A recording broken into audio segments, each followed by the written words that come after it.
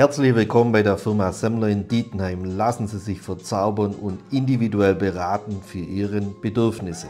Wir als Sanierungsprofis arbeiten nur mit eigenen Monteuren und eigener Produktion. Unsere Fachberater stehen für Sie bereit.